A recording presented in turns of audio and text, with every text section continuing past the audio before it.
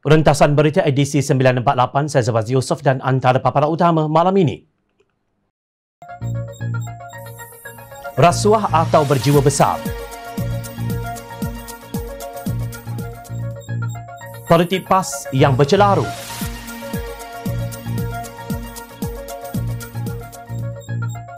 Rakyat mahukan perubahan.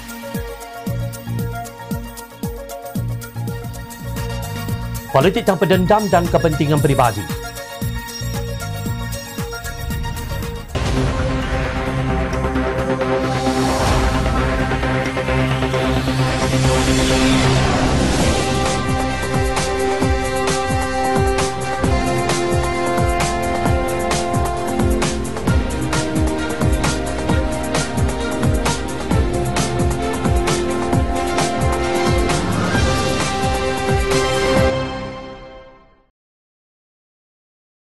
Assalamualaikum dan salam sejahtera. Pada Jumaat 13 Ogos lalu, Perdana Menteri Tebuk Atap Tan Sri Mahyadi Mak Yassin telah mengumumkan satu pakej tawaran luar biasa kepada pemimpin Pakatan Harapan. Jom China merentas dua sudut pandangan yang berbeza mengenai tawaran tersebut. Kejutan besar, tiba-tiba suhu politik reda seketika petang tadi. Teori seumpama kerajaan perpaduan yang pernah diperdebatkan sebelum ini seakan muncul kembali. Setidak-tidaknya menambat pemimpin politik yang mempunyai impian besar. Ketika wabak menular dengan kematian menakutkan, tiada jalan lain kecuali sepakat semua pihak, sepakat membawa berkat. Pembangkan dan kerajaan perlu memasuki gelanggang gencatan senjata. Tiada pihak yang kalah atau menang. Dalam situasi pandemik sekarang, wajar semua hulu balang politik letak senjata. Jangan dibiarkan rakyat terus mual ketika Abah dan saf pimpinan Perikatan Nasional PN bertukus lumus mendepani COVID-19. Jangan pula pihak lain membiak virus. Kerja yang sia-sia itu akan meletakkan negara dalam keadaan pincang. Maka formula terbaik dengan kejutan besar petang Jumaat tiba-tiba muncul. Demikian sebahagian daripada kata-kata pujian Harakah Daily pada 13 Ogos lalu. Dalam sekelip mata, hilang naratif No Anwar No DAP yang sering diwiritkan oleh Panglima Perang AMNO seperti Datuk Seri Ismail Sabri Yaakob, Tan Sri Anwar Musa dan Datuk Seri Syahidan Kasim. Namun, Majlis Presiden Pakatan Harapan melihat tawaran Mahyadin pada hari itu adalah pengakuan terbuka bahawa beliau telah hilang sokongan majoriti ahli Dewan Rakyat. Ini mewajibkan perkara 43 kurungan 4 Perlembagaan Persekutuan dilaksanakan di mana beliau hendaklah meletakkan jawatan. Ini kali pertama dalam sejarah Malaysia seorang Perdana Menteri yang mengaku kehilangan sokongan majoriti namun secara terang-terangan terus menagih sokongan pembangkang. Ini juga kali pertama seorang Perdana Menteri yang tiada keabsahan menawarkan rasuah secara terang-terangan dalam siaran televisyen langsung di hadapan seluruh rakyat Malaysia. Tegas kenyataan bersama oleh Presiden Keadilan Datuk Seri Anwar Ibrahim, Presiden Amanah Muhammad Sabu dan Setiausaha Agong DAP Lim Guan Eng Jumaat lalu. Inikah dia yang dinamakan gencatan senjata, iaitu terus memanjangkan hayat politik Perikatan Nasional yang dipenuhi gerombolan kakistokrasi yang flip-flop Termasuk juga tiga orang duta khas bertaraf menteri yang makan gaji buta dan seorang penasihat yang bertaraf menteri yang dijatuhkan sebagai menteri besar di negerinya sendiri. Menurut Majlis Presiden Pakatan Harapan, apabila Mahyadin berkata... Saya ulangi, sehingga saat ini tiada seorang pun ahli Dewan Rakyat lain yang dapat membuktikan dia mendapat sokongan majoriti ahli Dewan Rakyat. Beliau dengan jelas telah membelakangi fungsi dan kuasa yang di-Pertuan Agong Al-Sultan Abdullah Ahmad Shah selaku Ketua Utama Negara seperti yang termaktub di dalam Perlembagaan Persekutuan, khususnya perkara 43 kurungan 2 kurungan A Perlembagaan Persekutuan sudahlah menderhaka. Kini mahu mengambil alih tugas yang di-Pertuan Agong untuk menentukan siapa yang akan menjadi Perdana Menteri. Oleh demikian, Pakatan Harapan mengambil pendirian untuk menolak keras segala tawaran tidak ikhlas Tan Sri Mahyadin yang sepatutnya dibuat lebih awal dan bukannya di hujung hayat politik beliau. Tumpuan seharusnya diberikan untuk menyelamatkan rakyat dan bukan kejaya politik Mahyadin. Sebaliknya, Pakatan Harapan memilih untuk bersolidariti dengan rakyat yang sedang menderita akibat pandemik COVID-19. Kami berkeyakinan bahawa kami mampu mengemukakan satu perancangan yang lebih baik, terutama untuk menangani pandemik COVID-19, menghidupkan semula ekonomi serta menyelamatkan rakyat dan mata pencarian. Tegas pimpinan Pakatan Harapan. Kononnya dakwah Harakah Delhi dalam gencatan senjata ini tiada pihak yang kalah atau menang. Maaf, kalian sebenarnya sudah lama kalah. Kalian kalah dengan nafsu sendiri yang mahukan kuasa. Lantas menggunakan kaedah matlamat menghalalkan cara dengan merampas kuasa. Tak kala Pakatan Harapan ketika itu sedang bertukus lumus menghalang COVID-19 daripada terus berebak. Kalian juga kalah dengan nafsu sendiri yang mahu kekal berkuasa sehingga sanggup menjilat balik ludah dengan menjemput Pakatan Harapan supaya berjiwa besar menerusi tawaran rasuah bagi meneruskan segala kerosakan yang sudah kalian lakukan dan akan kalian terus lakukan. Pakatan Harapan yang ditomah oleh Presiden PAS Datuk Seri Abdul Hadi Awang mahu menyingkirkan Islam kini diminta perlu berjiwa besar. Kasihan sungguh. Begitu jauh para pemuja kerajaan Tebuk Atap tersesat dan terdesak sehingga sanggup menyarankan penentang Mahyadin supaya berjiwa besar untuk menerima rasuah. Suruhanjaya Pencegahan Rasuah Malaysia SPRM mentakrifkan rasuah sebagai penerimaan atau pemberian suapan sebagai upah atau dorongan untuk seseorang individu kerana melakukan atau tidak melakukan sesuatu perbuatan yang berkaitan dengan tugas rasmi. Suapan terdiri daripada wang, hadiah, bonus, undi, perkhidmatan, jawatan, upah dan diskaun. Rasuah tetap rasuah. Rasuah tetap akan kalah. Tiada jiwa besar dalam rasuah, cuma ada jiwa yang kosong. Pemimpin PAS sentiasa mengeluarkan kenyataan konyolnya menyokong penuh titah Raja-Raja Melayu. Apatah lagi apabila mereka lihat titah tersebut memberi kelebihan kepada parti itu. Tetapi pada masa yang sama, mereka bersekongkol dengan penderhaka. Ini termasuk mempertahankan pelan pemulihan negara yang dirancang oleh Perdana Menteri Tebuk Atap, Tan Sri Mahyadi Mak Yassin untuk keluar daripada perangkap COVID-19. Kata Timbalan Presiden PAS Datuk Seri Tuan Ibrahim Tuan Man, semua pihak perlu memainkan peranan masing-masing dalam usaha untuk menjayakan pelan pemulihan negara itu yang memerlukan pengemblingan semua pihak dalam menjayakan apa yang dirancang oleh kerajaan. Pelan pemulihan negara adalah langkah tepat. Dalam situasi begini amat malang bila ada pihak yang menggugat kestabilan negara ujarnya seperti dipetik Harakah Daily 13 Ogos. Beliau mengingatkan semua pihak khususnya pemimpin politik supaya menumpukan seluruh tenaga kepada usaha menguruskan ketidakseimbangan sosioekonomi masyarakat ketika penularan COVID-19 semakin membimbangkan. Jom kita bandingkan kenyataan Tuan Ibrahim kepada Harakah Daily dan Malaysia kini pada hari yang sama. PAS tetap tidak setuju kalau DAP berada dalam kerajaan. Katanya seperti dipetik Malaysia kini 13 Ogos. Tuan Ibrahim berkata demikian ketika diminta mengulas kenyataan Mahyadin semasa menyampaikan ucapan yang disiarkan ke seluruh negara pada lewat petang Jumaat. Kelakar. Tuan Ibrahim paksa semua rakyat Malaysia terima pelan pemulihan negara separuh masa yang tidak dibahas secara terperinci di Parlimen seperti kehendak titah yang di-Pertuan Agong. Tetapi pada masa yang sama menolak penyertaan DAP. Siapa Tuan Ibrahim yang mahu menyingkirkan rakyat Malaysia untuk menjadi sebahagian daripada kerajaan? Jauh sungguh bezanya pemikiran politik pemimpin PAS ini dengan pemimpin amanah Datuk Seri Dr. Mujahid Yusof. Sifat Islam yang penuh rahmah adil dan sebagai petunjuk kepada manusia pasti menyediakan jalannya untuk memandu umat Islam di Malaysia hari ini yang berada dalam persimpangan kritikal krisis kepimpinan. Ujar Mujahid dalam tulisannya selepas mendengar kejutan dari Mahyadin. Beliau menyandarkan hujahnya daripada firman Allah Subhanahu Wa Taala dalam surah Al-A'raf ayat 156. Rahmatku maha luas ke atas segala segala sesuatu. Dan surah An-Nahl ayat 89 dan kami turunkan kepada engkau wahai Muhammad Alkitab yakni Al-Quran. Menjelaskan setiap sesuatu dan sebagai petunjuk rahmah dan berita baik untuk kaum muslimin. Mujahid berpendapat umat Islam perlu memahami bahawa dalam disiplin ilmu Islam permasalahan pemerintahan dan kepemimpinan umat ianya dipandu oleh kerangka siasah syara'iyah kata Mujahid ilmu siasah syara'iyah secara rumusannya adalah ilmu berkaitan pemerintahan yang meletakkan piawaian syara'iyah syariat dalam adab pemerintahan dan urusan pemerintahan dalam menyampaikan kepentingan rakyat. Segala pandangan memahami krisis hari ini perlu ditundukkan kepada prinsip umum pemerintahan atau al-ahkamul ammah lisiasa dalam Islam seperti keadilan, kemanusiaan, memenuhi hak, mematuhi perjanjian dan lain-lain nilai yang diperakui oleh Islam sebagai rujukan yang sah dalil dan nasnya, ujar beliau. Al-Quran memerintahkan kita berlaku adil dan ihsan serta melarang perbuatan keji, mungkar dan bersikap melampaui batas. Orang Islam berpegang teguh kepada syarat-syarat dalam perjanjian.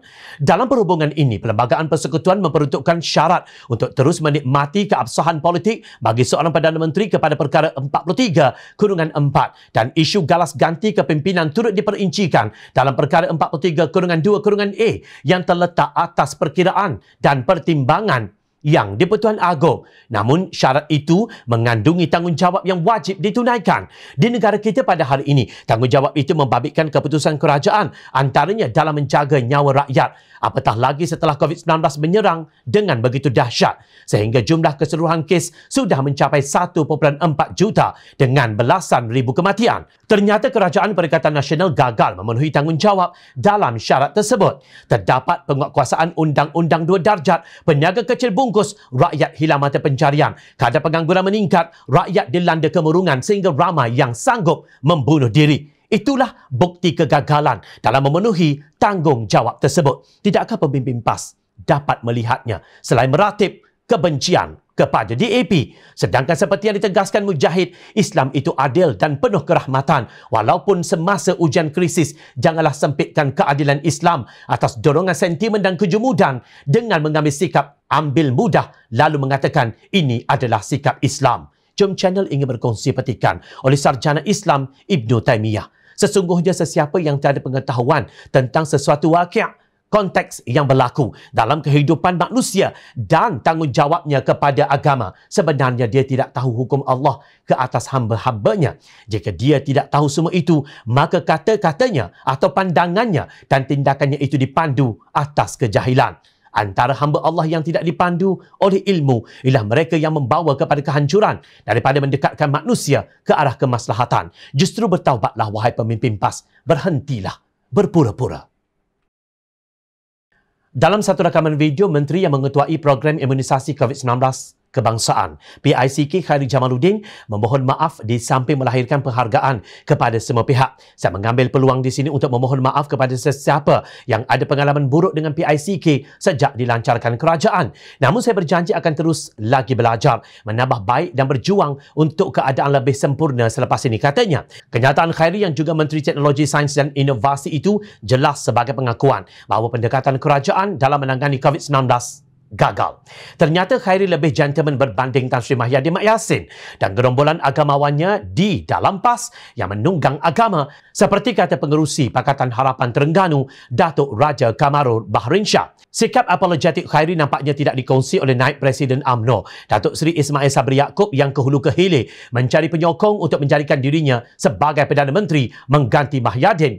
Beliau dilaporkan bertemu pengerusi pejuang Tun Dr. Mahathir Mohamad selain menemui Presiden partinya Datuk Seri Ahmad Zaid Hamidi. Menurut laporan harapan Ismail Sabri untuk mendapat sokongan, kedua-dua pemimpin politik tersebut hancur berkecai apabila mereka menolaknya. Cubaan Ismail Sabri untuk menjadi Perdana Menteri segera tanpa mandat rakyat bagi meneruskan kerajaan gagal ini turut menerima kecaman pemimpin Pakatan Harapan.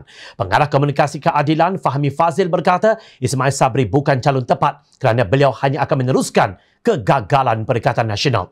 Menurut beliau, Ismail Sabri sebagai seorang anak pahang langsung tidak kelihatan mempertahankan institusi raja berperlembagaan tak kala kenyataan Istana Negara 29 Julai lalu merakamkan rasa amat duka cita yang di-Pertuan Agong Al-Sultan Abdullah di atas tindak tanduk ahli jemaah menteri yang ingkar titah perkenan baginda untuk membahas dan memutuskan ordinan-ordinan darurat di Parlimen. Malaysia perlukan tenaga baharu, konfigurasi kepimpinan baharu. Malah mungkin juga kita memerlukan sebuah jajaran baharu untuk memastikan kita mampu menyelesaikan masalah-masalah pandemik dan kebajikan rakyat secara menyeluruh dan bersama tegas fahmi. Menurut ahli Parlimen Sepang Muhammad Hanifah Maiden pula, jawatan Perdana Menteri bukan seperti kes lumba lari berganti-ganti yang mana seseorang pelari itu boleh bertukar baton kepada seorang pelari yang lain.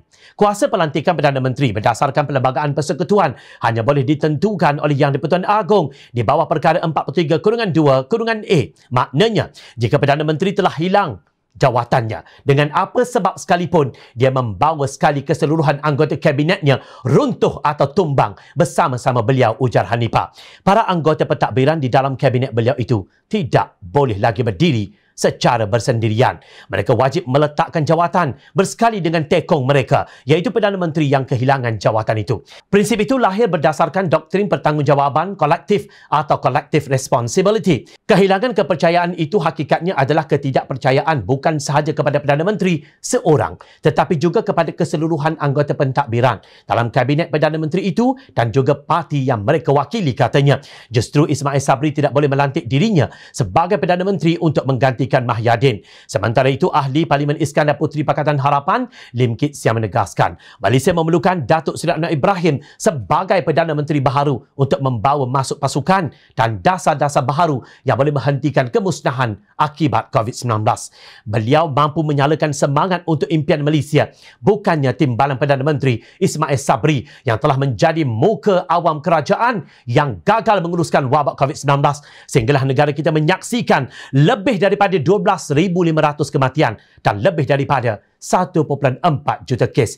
Ismail Sabri sebagai Perdana Menteri hanya akan meneruskan dasar kakistokrasi dan kleptokrasi sedia ada ini yang hanya akan menyebabkan Malaysia menjadi sebuah negara gagal, tegas Kit Siang. Menurut beliau, Malaysia memerlukan kepimpinan baharu di mana semua rakyat Malaysia tanpa mengena kaum, agama, kawasan maupun politik boleh bercita-cita dengan impian Malaysia untuk menjadi sebuah negara berkelas dunia dan mengambil langkah untuk memenuhi aspirasi bapa Malaysia untuk menjadikan negara kita sinar cahaya dalam dunia yang kelam dan terganggu. Suka tak suka, kita terpaksa bersetuju dengan ahli politik veteran ini bahawa tidak akan ada perubahan arah dasar sama ada dalam pengurusan pandemik COVID-19 maupun kebangkitan semula ekonomi jika kerusi Perdana Menteri diwarisi oleh ahli gerombolan yang sama yang telah menjadikan Malaysia sebuah negara gagal seperti yang dilihat oleh para pemerhati politik ekonomi antarabangsa. Hari ini Kabinet Bersaiz XXXL Mahyadin benar-benar runtuh. Kenyataan ini disahkan oleh Khairi menerusi media sosial.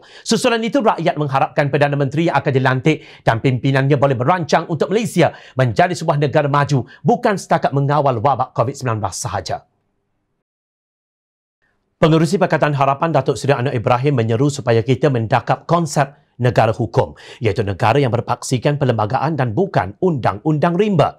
Itulah yang beliau harapkan selepas krisis politik yang sedang berlaku sekarang selesai. Presiden keadilan tersebut mengajak pemimpin politik supaya mengamalkan politik baharu yang waras tanpa dendam kesumat. Maknanya, uang ini perintah kamu jaga. Aku akan tekan kamu. Hmm? Kamu penjagakan aku, aku akan penjaga. Jadi itu dendam kesumat inilah yang patut dihentikan. Maknanya pentadbiran baru ini harus sedia menyatakan bahawa kita harus bermula babak baru politik yang lebih waras dan politik yang tidak menggalakkan dasar atau tindakan berdasarkan dendam kesumat ujar Anwar dalam satu rakaman video di Facebook beliau. Walau bagaimanapun, Anwar tidak mahu berkompromi dengan pendidikan politik yang terlalu diheret dengan kepentingan peribadi. Ini termasuk amalan mengumpul kekayaan anak menantu dalam keadaan ekonomi yang merudum. Siapa yang berkuasa nafsu serakah untuk kumpul kekayaan, kegelojohan untuk kaya secara haram melalui rasuah dan kepentingan peribadi mesti dihentikan katanya. Mengulas mengenai tawaran jawatan Ketua Pembangkang bertaraf Menteri Kanan, Anwar menyifatkannya sebagai satu penghinaan. Ya, ahli parlimen penting tapi nyawa dan kehidupan rakyat lebih penting. Dengan tambahan RM40,000 ke RM50,000 ringgit, saya fikir ia satu penghinaan kepada saya. Orang nak dapat RM100 untuk anak-anak dan keluarga pun susah dan kamu pelawa kepada saya RM40,000 sebulan. Salah pilih. Saya terkejut bila ada pelawaan itu. Percubaan ini tidak sensitif dengan survival rakyat hari ini, kata Anwar. Justru bila menegaskan politik yang baru dibina oleh Gabungan Pakatan Harapan merupakan politik bermaruah yang kembali kepada asas keluhuran perlembagaan, semangat silaturahim, memaafkan dan memulakan babak baharu dengan menginsafkan kelemahan kita masing-masing. Cuba memperbaiki supaya mengangkat martabat negara sebahagiannya dalam menangani COVID-19 seterusnya mengangkat kedudukan ekonomi rakyat tegas Anwar. Namun Presiden PAS Datuk Seri Abdul Hadi Awang dalam kenyataannya yang bercelaru pada 15 Ogos mahu pembangkang menerima tawaran Tan Sri Mahyadin Yassin seolah-olah ia bukan satu rasuah. Maka tawaran Perdana Menteri kepada semua parti politik bagi mendapatkan kepercayaan bersama terhadap kerajaan terkini supaya memberikan masa untuk menyelesaikan masalah sepatutnya diterima secara positif katanya. Kononnya kerajaan dahulu bermasalah, maka sepatutnya masa diberikan kepada kerajaan hari ini agar dapat menyelesaikan masalah bersama. Janganlah disebabkan tidak boleh bersabar seketika. Kita akan menerima padah dan masalah yang lebih besar dan lebih berat untuk dipikul. Cukuplah menjadi pengajaran kepada rakyat terhadap kerajaan yang telah lama memerintah sehingga mereka dibejati dengan penyakit rasuah Kemudian rakyat membuat perubahan kepada sebuah kerajaan yang menawarkan pelbagai janji sehingga berani merubah asas perlembagaan dan kedaulatan Islam dan akhirnya telah dijatuhkan katanya. Beliau menggunakan COVID-19 untuk menegakkan benang basahnya bagi meneruskan kerajaan yang gagal ini. Tiba-tiba hari ini diganggu oleh mereka yang ingin merampas kuasa yang nyata menjadi masalah dan nyata pernah gagal menyelesaikan masalahnya. Maka peluang sepatutnya diberikan kepada kerajaan dalam tempoh yang sepatutnya dakwah hadi demi mempertahankan rasuah yang sedang berbunga. Pemimpin PAS lupa bahawa kerajaan Perikatan Nasional adalah perampas kuasa yang tidak pernah mendapat mandat rakyat dan tidak pernah sekali-kali dibuktikan keabsahannya di parlimen. Malah beliau menuduh pihak yang menolak tawaran rasuah itu sebagai tidak berperi kemanusiaan dan gila kuasa. Hanya mereka yang tidak berperi kemanusiaan sahaja tidak akan mempedulikan keadaan rakyat yang perlu diselamatkan sekarang. Maka kalangan yang menolak pelawaan untuk bersatu padu menyelamatkan rakyat dan negara demi memenuhi kehendak politik peribadi yang sempit adalah kelompok gila kuasa yang tidak mempedulikan nyawa rakyat tegas hadi. Terdahulu pengurusi Pakatan Harapan Terengganu Datuk Raja Kamarul Bahrain Shah membidas Kerajaan Melayu Islam Perikatan Nasional dan PAS yang dilihat mempermainkan isu halal dan haram dari aspek Islam sebagai alat politik semata-mata. Apa yang dahulunya haram boleh dihalalkan begitu saja demi survival politik apabila mereka di tahap nazak. Betullah dakwaan asal PAS. Islam terancam. Islam terancam kerana hukum halal haram dan dalil Islam mengikut selera politik mereka bukan mengikut Islam tegas Raja Kamarul. Merampas kuasa ketika Kerajaan Pakatan Harapan sedang bertugas lumus menentang kemarahan COVID-19 menerusi langkah syaratan halal. Meminta darurat ditamatkan dan parlimen bersidang supaya mandat rakyat dipulihkan. Haram. Tawaran habuan kepada pemimpin pembangkang agar kerajaan gagal boleh diteruskan. Halal. Menolak tawaran tersebut kerana menganggapnya rasuah haram. Secara terang-terangan, Hadi memfitnah Pakatan Harapan, merombak perlembagaan dan kedaulatan Islam sedangkan ia tidak pernah berlaku dalam tempoh 22 bulan gabungan tersebut memegang tampuk pemerintahan sebelum ini. Dengan jumlah keseluruhan kes sebanyak 1,404,899 dan 12,510 kematian setakat 15 Ogos, Hadi masih mahu kerajaan yang gagal ini diteruskan. Persoalan untuk Hadi, kebebalan apakah ini? Ingat, rakyat sentiasa memerhati. Teruskan bersama kami di Jom China dan layari reporter jomchina.net untuk mendapatkan berita politik tanah air. Saya Zawaz Yusof. Terima kasih untuk perhatian. Assalamualaikum. Salam sejahtera.